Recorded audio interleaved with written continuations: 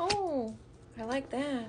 The magician is such a wonderful card to come out for for the first card. So, what you're moving away from, yes, 8 of swords, moving away from fear, anxiety, worry, feeling open, feeling raw, feeling like nude, vulnerable, like I, I I'm out here without a raft spirit, like out here on the open. I'm just seeing like open, violent oceans without the safety net that you need. Like sometimes that's what it feels like out in the dating world. Like legit. Whoever this reading is for, it feels like you have been dealing with some demons from the past. Some of you it's been dealing with specifically like a divorce or some like karmic stuff that you've been uprooting and healing from. But the fact that did I also mention that you have the sun? Okay?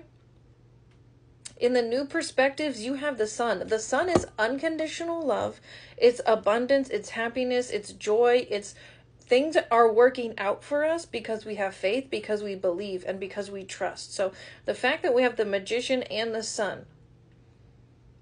I mean, I don't know if it gets gets much better than that.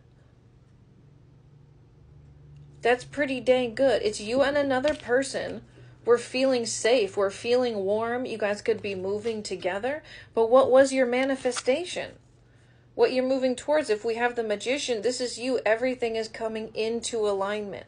So, this person that you are moving towards, they check all of the boxes. So, make sure you keep moving away from this Eight of Swords. Look, it's fear, it's worry, with this and the Two of Swords, this is your challenge to overcome. This is a choice, a very important choice a choice that cannot be avoided.